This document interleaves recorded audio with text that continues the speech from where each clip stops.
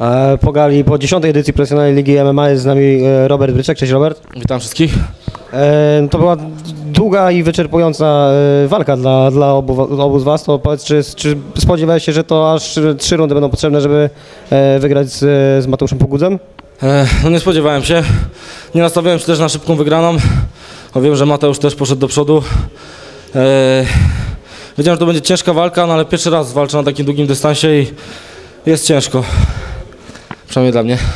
Tak e, z boku jak patrzyłem, to już nawet po pierwszej rundzie było widać, że, e, że, że ta walka kosztuje Cię, cię sporo, sporo sił. Jakie, jakie wnioski wyciągnąłeś, że no, paliwa na trzy rundy e, brakuje? To kwestia tego, że jeszcze tak nie walczyłeś na takim długim dystansie, czy, czy jednak coś kondycyjnie masz do poprawy? Znaczy na pewno kondycyjnie, bo przygotowania nie do końca wyglądały tak, jak miały wyglądać. E, były dość krótkie.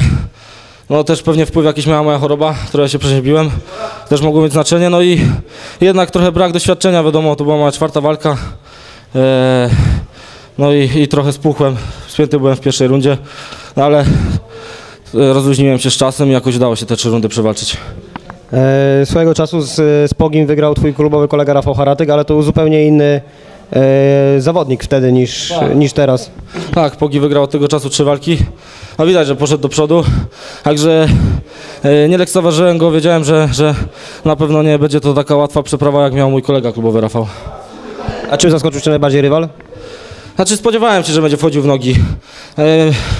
Miałem go trochę więcej na dystans trzymać, więcej używać prostych, a wdałem się trochę w taką siłaczkę, trochę się za dużo z niej przepychałem. To mi też pewnie trochę tlenu dało, no ale jakoś się udało, nie dawałem się wywrócić. Mi się udało go parę razy obalić, także no, z tego jestem zadowolony. Wiadomo, że bardziej cieszy zwycięstwo przed czasem, no ale myślę, że jednak walka na pełnym dystansie to też jakieś tam doświadczenie przyda mi się na pewno. 27 kwietnia 2011 12 roku walczyłeś e, w Spodku na MMA Attack, teraz e, dokładnie rok później jest MMA Attack, masz jakieś e, informacje, że, że fight card jest przygotowany, przy, przygotowany i, i, i, miejsce dla Ciebie na tym fight cardzie, na tym undercardzie? Szczerze mówiąc nic, nic, żadna propozycja nie padła, także nic mi nie wiadomo na ten temat. No niestety w kwietniu miałem pierwszą porażkę w MMA i no, jakieś tam wnioski wyciągnąłem i udało się od tego czasu dwie walki wygrać. Także myślę, że, że do przodu idziemy mimo wszystko. E, Dostałeś w nagrodę za, za swój występ komplet opon. Masz... e, e, Wiesz już co z nimi zrobisz? No pewnie, pewnie na lato się zaopatrzę, zimówki mam, także zobaczymy jeszcze. Może komuś podaruję, trenerowi, któremu zobaczymy.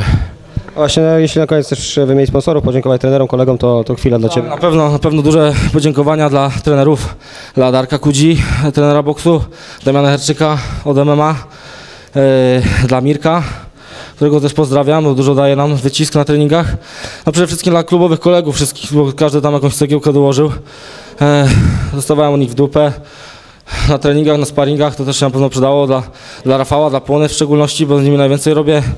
E, no ale też wiadomo, reszta, Paweł, e, Michał, Sabol, no cała moja ekipa, e, oni wiedzą za dużo ich, żeby wszystkich wymieniać. A wszyscy przyjaciele, rodzina, wszyscy bliscy. No nie będę wszy- wszystkich wymieniał, bo nie chciałbym nikogo pominąć, ale każdy na pewno tam miał jakiś wkład w to, że dzisiaj udało się wygrać tą walkę. No i przede wszystkim sponsorów, e, Pitbull, Burian, e, Viba, e, dla mojego taty, który też dużo pomaga. W ogóle dzięki niemu jest klub i chłopaki mogą ćwiczyć, trenować, rozwijać się jakoś. To dla nich wielkie podziękowania. Nie przedłużamy, bo widzę, że jesteś potwornie zmęczony. Dziękuję Ci bardzo za, za wywiad i życzę powodzenia w dalszej karierze. Dziękuję bardzo za wywiad. Pozdrawiam cały Marok i wszystkich fanów MMA. Dziękuję. Dzięki.